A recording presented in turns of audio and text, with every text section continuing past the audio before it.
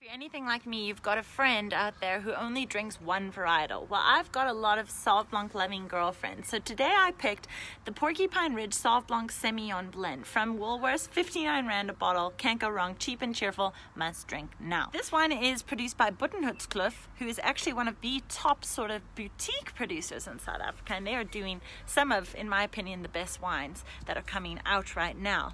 But here's their bulk table wine. On the nose, this wine shows a lot of Sauv Blanc characteristics. So you've got your uh, your freshly cut grass and your raw asparagus, all those vegetal notes. But on the palate, that's when the Semillon shines through. So apricot and green papaya.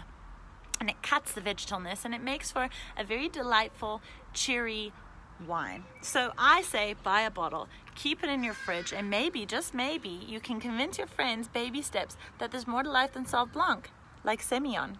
Cheers.